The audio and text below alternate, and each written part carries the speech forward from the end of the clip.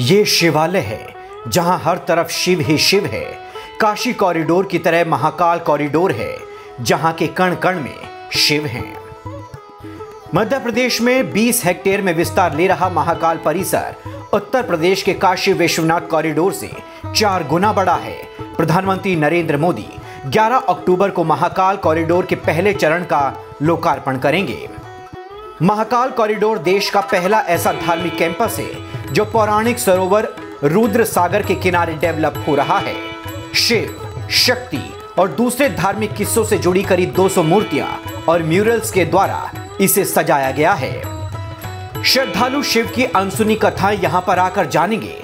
सप्त ऋषि नवग्रह मंडल त्रिपुरा वध, कमल ताल में विराजित शिव 108 स्तंभों में शिव के आनंद तांडव का अंकन शिव स्तंभ भव्य प्रवेश द्वार पर विराजित नंदी की विशाल प्रतिमाएँ हैं, जहाँ देश का पहला नाइट गार्डन भी बनाया गया है।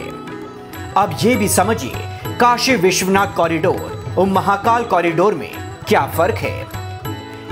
काशी विश्वनाथ कॉरिडोर का एरिया 5000 हेक्टेयर है, जबकि महाकाल कॉरिडोर का एरिया 2.82 हेक्टेयर है। काशी कॉरिडोर पर खर्चा 800 करोड़ आया था जबकि महाकाल कॉरिडोर पर खर्चा सात करोड़ आ रहा है। काशी कॉरिडोर 300 मीटर का कॉरिडोर है, जबकि महाकाल कॉरिडोर 900 मीटर का कॉरिडोर है। महाकाल कॉरिडोर काशी विश्वनाथ कॉरिडोर से चार गुना बड़ा है, जिसके पहले चरण का काम करीब करीब पूरा हो चुका है। महाकाल कॉरिडोर के मुख्य द्वार से लेकर मंदिर के गेट तक बानवे प्रतिमाएँ लगाई गई हैं। सभी में क्यूआर कोड है, जिसे स्कैन कर प्रतिमा के इतिहास को जाना जा सकेगा। महाकाल कॉरिडोर को बनाने में एमपी सरकार ने 421 करोड़ रुपए खर्च किए हैं।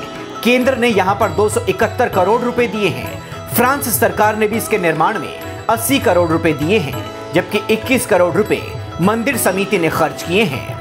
ये प्रोजेक्ट दो तरह से तस्वीर बदलेगा। पहला, दर्शन आसान होंगे। दूसरा दर्शन के साथ लोग धार्मिक पर्यटन भी कर पाएँगे।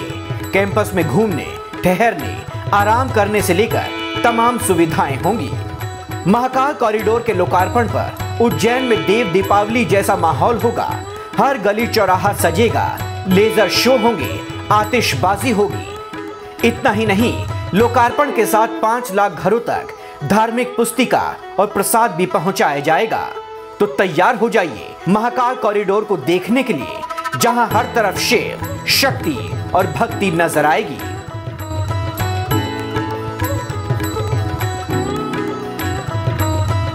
उम्मीद है आपको हमारी ये वीडियो अच्छी लगी होगी। वीडियो को लाइक और शेयर करिए।